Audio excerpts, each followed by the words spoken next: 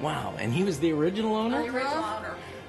Bought it in Germany, had it shipped Yep. over here. He was a captain in the, um, he was Army, orthodontist, yeah, in the army. over Really? Uh-huh. Wow. I can send you papers to doctor. Oh, I, Got the original bill of sale though. Yeah, maybe, at home in think. Dallas. Really? Yeah. Wow. So when he, well, this is the right place to enjoy this car. Yeah. Well, No, out here. he's, he's let it go into Yeah. disrepair, Yeah, I can see that, but Right. which was not smart on his part. well, And there's all sorts of them. We have no idea. Parts and pieces. that you're welcome to. We don't know. oh, okay. We have no idea. Huh? Yeah. See, it even has here's his name, and Yeah. it was, Ah. was Bierstein from Germany.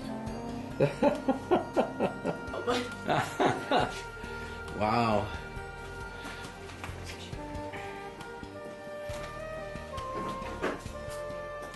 Luggage rack. Okay. Wow. Yeah, there's steering wheels. And Yeah. Well, Ah, yeah. We sold that. Yeah, You're, you're welcome. All And this there's comes a with- Porsche top kit. Yeah, that's a supposed Supposedly that's what's in there. in the That's box. the. We don't know. New though. But whether it's in any condition It, that it, it could use a new top, huh? Yes, it- but is it a good top? We don't know. oh, listen. what's it say this? or what's in there. No, there's something in there. Oh no. Oh, we don't. Know. Oh, yes. Or maybe it's not a more car parts. I don't know if it goes with this car. Yeah, that's the jack. That's the jack for it. Hump. Wow. Okay, yeah. It's, it needs restoration. Yes. Well, hey, so do I, so, you know. Don't we all? yeah.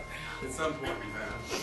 And and the guy checked over the numbers and stuff on it and he Yeah. Mm-hmm. Oh, good. Okay.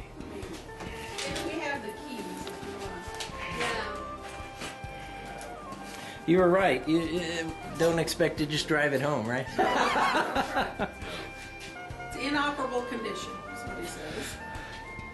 He said the uh, vehicle chassis number is 157697, found to be properly located at various points on the vehicle. On the driver side door jamb, on the manufacturer tag located in the bonnet in front of the gas tank, found stamped on the chassis next to the manufacturer tag. Last two digits were confirmed on the left front hinge to the front bonnet. Body color is ivory with tan interior. Paint color is correct for vehicle and consistent with factory build tag on driver door jamb 6204. Paint is not original, having been resprayed at some point in the past. Body panels have numerous dings and dents throughout, including the right one front fender and hood. Um, Convertible top material has been completely disintegrated, including rear window, and will require complete restoration. And he's made pictures, you know, of all Ah, he said that the engine is the 1963 model Porsche 356B. It said it came with three different engine options. The motor in this vehicle, case casting number 62504, is engine type 616/1, which designates this is the base model engine rated as 60 HP.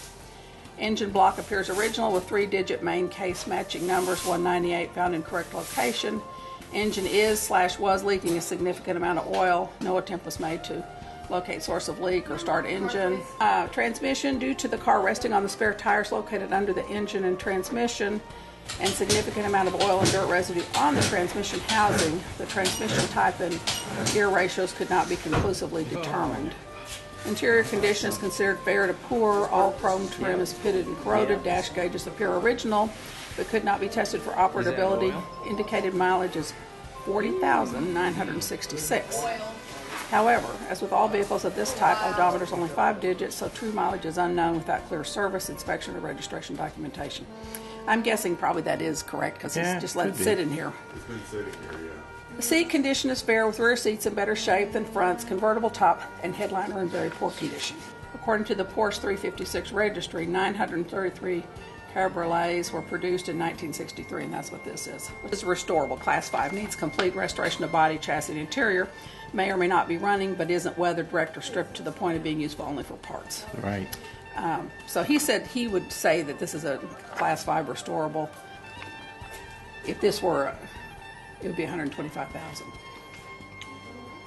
If it was a class condition one car in Yeah, show 1963. car, yeah. Yeah, but I mean that's but just you could spend that to do it. well, right, and, and, and he does. He comes over here. and That's he called says, the labor of love. That's the Right, and he said, you know, there are numerous websites and tools to assess the cost and time associated with restoration of this magnitude, and it's a function of a lot of things. You know, the physical condition, how much effort you're performing versus outsourcing, the clarity of and discipline to achieve intended goal, mechanical electrical systems condition, and completeness of the car at the inception of the project.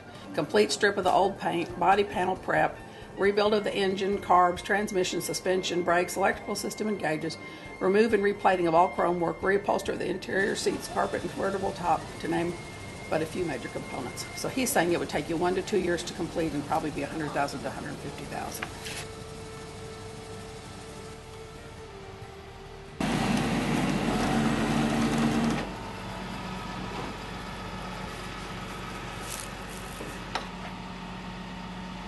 There it is. It's going to head off for its new home. Or it's going to head off for the garage, actually.